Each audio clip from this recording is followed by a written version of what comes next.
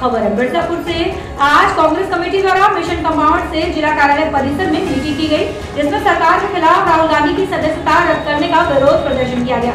इस दौरान भाजपा केंद्र की सरकार को तानाशाह का करार दिया गया। पूर्व विधायक भगवती चौधरी द्वारा कहा गया की भाजपा द्वारा लगातार लोकतंत्र का गला घोटने का कार्य किया जा रहा है। राहुल गांधी की सदस्यता रद्द करना भारतीय जनता पार्टी की साजिश रही। भारत जोड़ो यात्रा के बाद राहुल गांधी की बढ़ती लोकप्रियता से घबराई। भाजपा की मोदी सरकार द्वारा षड्यंत्र रच कर राहुल गांधी की आवाज़ को दबाने का काम किया गया है। आज भारत को लोकतंत्र व संविधान दोनों ही खतरे में है।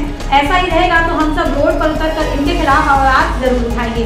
ब्यूरो रिपोर्ट बिल्डू खान आज का जो प्रेस वार्ता है, वो कांग्रेस पार्टी ने ये तय किया है कि जो भारतीय कांग्रेस के नेता, भारतीय राष्ट्रीय कांग्रेस के नेता राहुल गांधी के पीछे भारतीय जनता पार्टी गलत तरीके से उन्हें परेशान करने की साजिश कर रही है, उसके खिलाफ हम लोग कर हम किसी जज के खिलाफ नहीं कर हम जजमेंट के खिलाफ कर रहे हैं, चाहे वो सीजीएम का हो कोर्ट का हो, चाहे पार्लियामेंट के स्पीकर का आदेश हो चाहे पार्लियामेंट को म्यूट करने का हो, चाहे जेपीसी का गठन न करने का हो, चाहे राहुल गांधी की आवाज़ को दबाने का हो, चाहे कांग्रेस के लोगों के मुँह पे ताला लगाने का हो, ये कांग्रेसी जो लोकतंत्र के हिमायती हैं, ये कांग्रेसी जो उस परिवार से हैं जो ब्रिटानिया हुकूमत से नहीं डरे तो ऐसी हुकूमतों से हम डरने वाले नहीं हैं। और भारतीय जनता पार्टी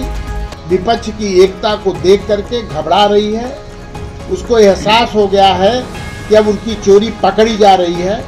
जब माने हमारे सांसद सदस्य पूछते हैं पार्लियामेंट में कि बाईस हज़ार करोड़ किसका लगा हुआ है तो आपको बताने में क्या जाता है? आप क्यों डरते हैं? आपसे पूछा जाता है कि जिन लोगों ने ये किया उसका रिश्ता आपका क्या है?